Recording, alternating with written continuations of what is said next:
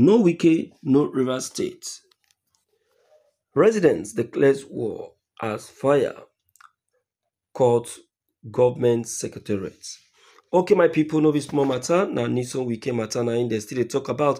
I don't really know what Nyesom Wike is is is still uh, um is still doing with war in in Rivers. He has completed his tenure. Why can't he allow the incumbent to go on with his own administration? Why is this still nosing?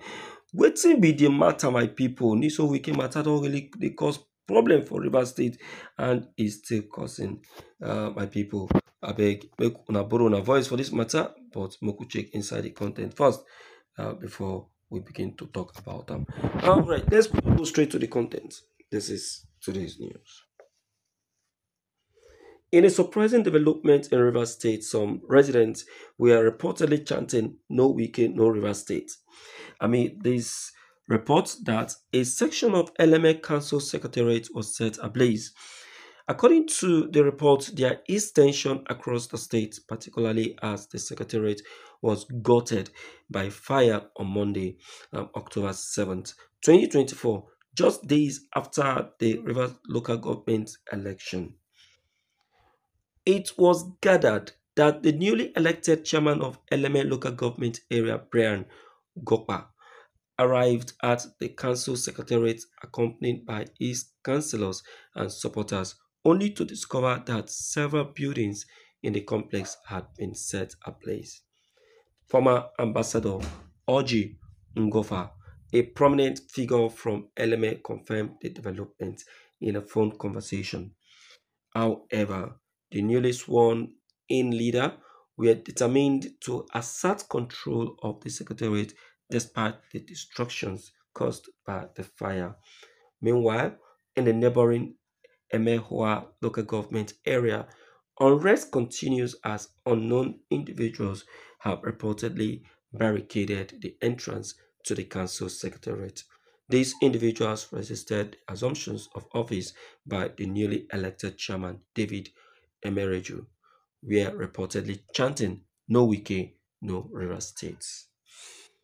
Thank you for listening to today's news, my dear listeners. I'll tell you that this is not right.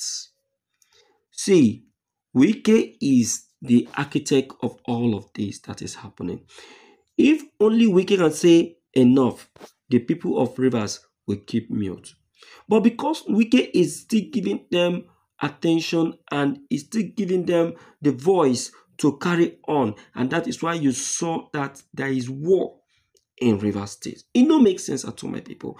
Um, during Wike's administration, nothing of this such ever happened. They allowed Wike to rule comfortably. Nobody disturbed him. So why is it now disturbing the administration of uh, uh, uh, of this young man, Fubara? It no make sense. There was the the local government election just concluded, and the, the chosen person did not favor Wike and now, because of that, Wike want to cause another war in River State.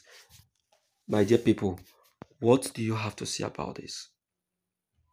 What is your advice? What is your opinion? Because to me, uh, it's what Wike is causing in River State is not a welcome situation.